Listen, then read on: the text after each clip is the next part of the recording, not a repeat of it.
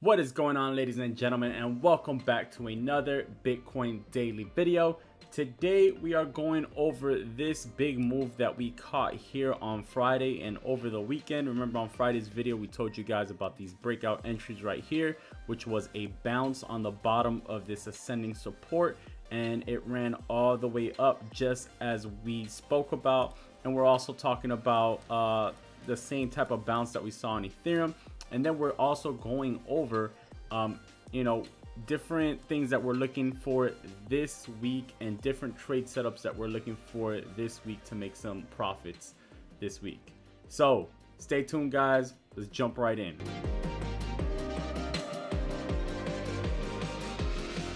Alrighty guys, I hope you guys had an amazing weekend. I hope you guys caught some of these profits that we made over the weekend. Let's jump right into that. So this is these are the trades that we spoke about this week on Friday's video. Bitcoin, we told you guys uh, we were buying above $18,200 and not only did it hit that, but it ran all the way up to 19,400 guys. So that was a 66 percent profit if you use 10x leverage on this trade. Um, on Ethereum, we also caught the breakout above 550 as we mentioned to you guys. Ran up all the way to 595 for a 40% uh, profit. If you guys use 5x on these, that's what we use on on uh, on altcoins.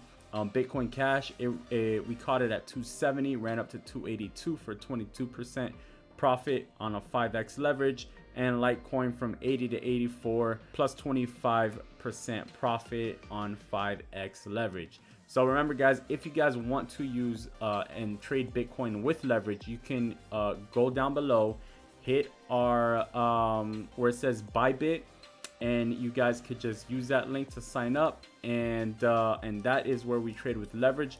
All right, guys. So let's jump into what we're watching for this week, right? So you guys see here, we're looking at the daily right now you guys see it's been bouncing around so it uh, we had this first initial drop right here bounce back up then kind of uh, it's been getting rejected at the top every single time right and then we had this drop over the weekend uh, over last week and, and the weekend um, well over the last week but then the weekend we popped right back up which was at the bottom of this range right here so um, so this is what we're currently watching right here. You see it was kind of a breakout right here from this from this kind of a bull flag pattern that we had. Uh, more it was more like a pennant. Um, and we kind of broke out of that, which led us all the way back up to 19400, 19450 range. And as you guys can see, we're currently pushing up right now. We're at 19,352. So um, basically what we're watching here, we wanna we wanna see that we don't break back down. Um, one thing to be wary of is that we have another gap up guys. So now this makes two gap ups that we have. So this is a CME Bitcoin futures right here and you guys can see there's this gap right? So what is a gap up? This is what it is right here. I'm trying to zoom in for you guys. Guess this is as much as I can zoom in so this is a gap up right here. Um, you guys can see uh, we closed at 18,020 on Friday and then we opened at 19,155 so that's over $1,000 gap up. And we also had the same thing of well not the same thing but similar here the weekend before. So we had closed here at 16,925 and we opened up at 18,275 so almost the same thing here guys. Um this one here was about was over also over a thousand. Yeah so um so that's just something to keep in mind guys. Um, as you're trading make sure you're using your stop losses. Keep tight stops. Um, because if we do end up filling those gaps um, you know you can take losses if you're if you don't have stop losses set up and put in place. So you want to make sure to always have those stops uh, put in, in place and um, be you know practice proper risk management so for this week, what we're looking for is a continuation up basically. Um, unfortunately, the move happened before we were able to put this video out, but the trade that we were looking for was above an entry above 19,300. This is the first entry that we're looking for uh, that we signaled in our trade group. Hopefully you guys in our trade group were able to catch that and hopefully it profits. We got to see what happens here right? Um, so the next entry that we're looking at here is gonna be probably above these right here um, and that and it's close enough to that 500 range where we would take that 500 entry right? So 19,500 is the next breakout entry that we're looking at here.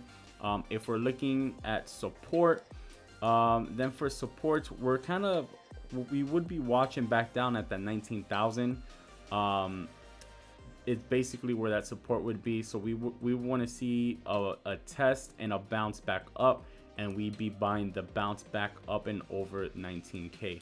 Okay, so that's pretty much uh, the two trade setups we're watching uh, right now this week. You know, to start the week off. Um, so it's, it's at 19,300, that 19,500, and that 19k. If we come back down to test it, uh, we want to get it above that.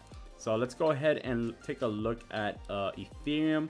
Ethereum, you see we kind of have that same pattern still, right? So we have that flat top pattern. Uh, we've been consistently rejected at, at 620.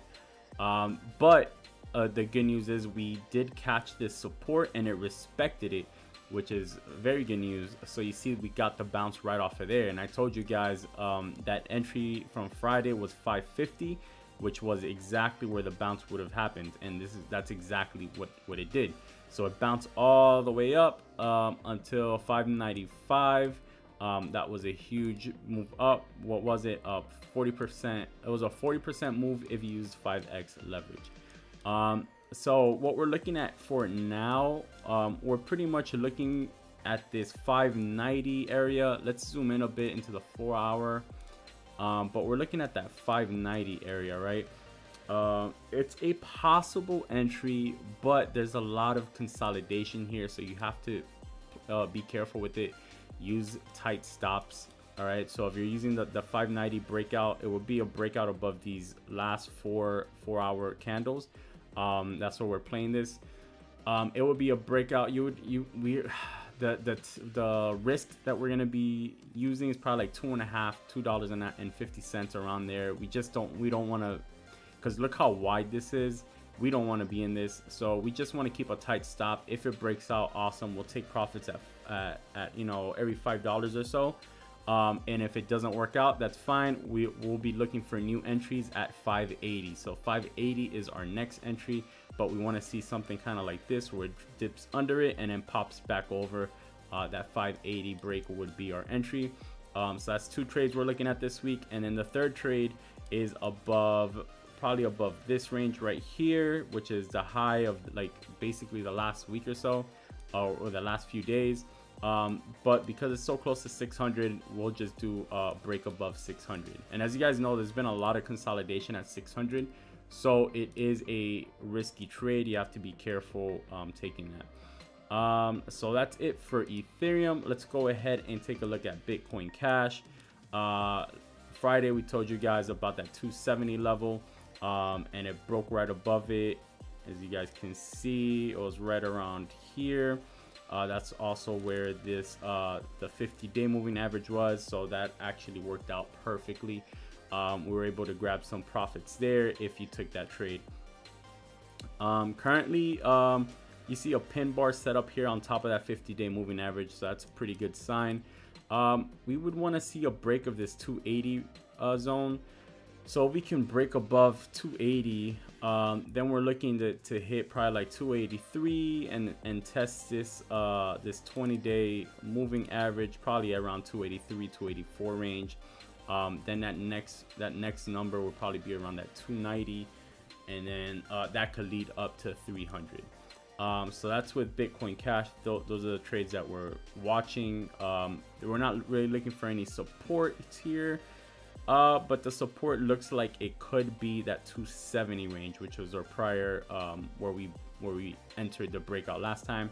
Um, the 50 day moving average is there, so you can use that 270 as a support entry if it happens something like it did today right here where it drops under and pops back over it um, litecoin as you guys can see we have this we had this descending wedge going down and it it's breaking up. It broke out of it right there. So um and it's right at it's currently right at the 20 day moving average.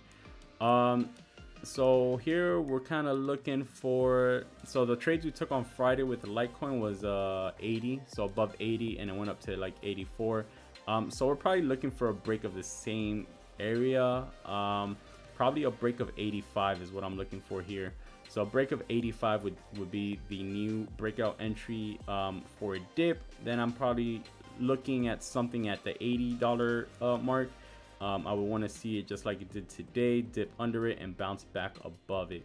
Um, that would be the entry I'm looking for there. Um, XRP, let's take a look. As you guys can see, you guys know that there was an airdrop on XRP. And um, and as we expected, we spoke about this, there was a drop, right, on in the price. Um, now, we so we broke out bearish from this pennant and this bull flag but that 50 cent range is actually holding up pretty nicely. That's why we didn't take a short on this because we saw there was a lot of buyers at that 50 cent range um, and we actually we expect this to go back up. So um, if you're looking for a long here on xrp you probably could uh, take a breakout above 52 cents um, and if you want to be safer then you could take it at 53 cents um, those are the two entries. We don't really want any support entries here because it's just that 50 cent range is where all that battle's going on. So uh, we're, we're looking for that breakout above 50, either 52 or 53 if you want to be a little bit safer and uh, see if we can bounce back up with XRP. Um, Chainlink, as you guys can see, we were also pretty much uh, trending down here. Um, and we did have a bounce back up. We didn't take any trades on this, and we're still not looking to take a trade here. Um, we, we want to see some consolidation here and then possibly a, a buy off this 50 day moving average here. So that would probably be around that 12.50 to $13 range. Um, but there was already one fake out at the $13 range. So um, we're not currently taking any trades on Chainlink here. Um, it still needs to break above that 20 day. Um, over to Tezos, kind of the same thing here. Not much going on. It did move up from that two dollar range as we as we spoke about. We said that two dollars as support, uh, bounced back up to that 220. So that 220 was is that next area with a lot of price action. Um, if you're looking for a breakout trade, you could buy above 230. That would be the level that I'd be looking for to enter a trade there. Um, Neo, you see we also got the nice bounce here. I'm still not entering nothing in Neo. I want to see a break of $18 um, for an entry here on Neo. And that's basically it, guys. I think we covered pretty much uh, all the, the trade setups we, we wanted to cover. I wanted to talk about. Hopefully you guys made some profits from our trade setups that we gave you guys on Friday. If not, don't worry, guys. There's always a new trade to make. Um, so that's pretty much it, guys. We're going to be watching the market and updating you guys as we go. If you're in our trade room, in our trade room, then you already know we're going to update you as we make trades. Um, if you're not, then and watch our videos that we're going to be posting throughout the week and our Instagram page where we give daily updates as well. That's pretty much it, guys please guys make sure to hit that follow button. Make sure to hit that subscribe that and uh, that like button. And make sure to hit that notification bell so you're notified as soon as we post new videos with new trades. Sometimes these trades take off like this so you gotta watch the video quick. That's pretty much it guys. Till tomorrow i will see you guys. As always peace and love. We're out